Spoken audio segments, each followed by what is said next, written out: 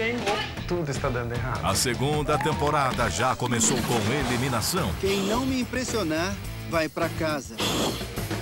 Eu quero que vocês façam um bolo lustre. O desafio que tinha tudo para ser doce Esse pedaço solto aqui. vai acender a rivalidade Vai ser assim e acabou. e mostrar o gosto amargo da competição. Quem é o elo mais fraco? Batalha dos Confeiteiros Brasil.